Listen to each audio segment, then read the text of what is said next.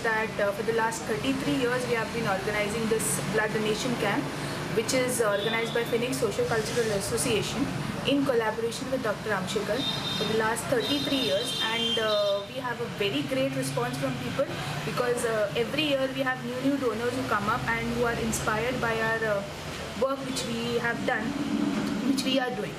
and uh, blood donation. We are very successful in uh, spreading this message that blood donation is a very great donation which helps you uh, save many lives. And uh, i would also like to request that next year still we uh, hope that we have more donors and more people who will come up and donate uh, blood